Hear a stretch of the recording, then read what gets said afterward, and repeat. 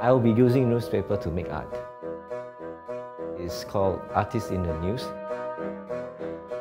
I'm showing, you know, artists documented in the newspapers from at least 30 years. Let's say, you know, there's one article per week, 52 weeks times 30 years.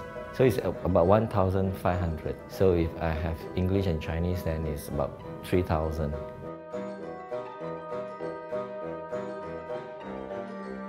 I actually joined the National Museum in 85, uh, not having uh, much knowledge of Singapore art history. So joining the museum has opened up my, my eyes, you know, uh, my knowledge through news cuttings, through catalogs, you know. Later on, when I became an independent art researcher and artist, uh, I realized that I need to continue to, to learn the, the history.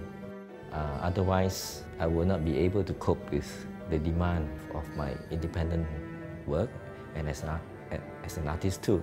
In my case, I'm interested in our art history as the theme for my art practice. Yeah?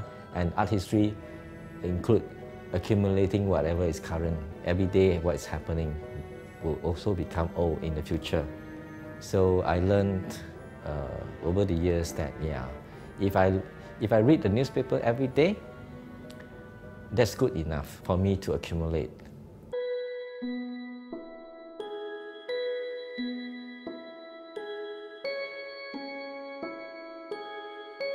When I first proposed this uh, work for Biennale, my idea was there's always been new artists, young artists, contemporary artists uh, in different period of our history.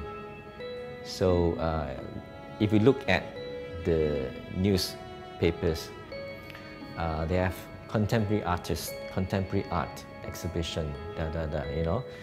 So uh, my intention is to show the contemporary artists, which normally people refer to the younger artists, yeah, and artists who are current. Uh, I want to show them in history there were also contemporary artists contemporary art.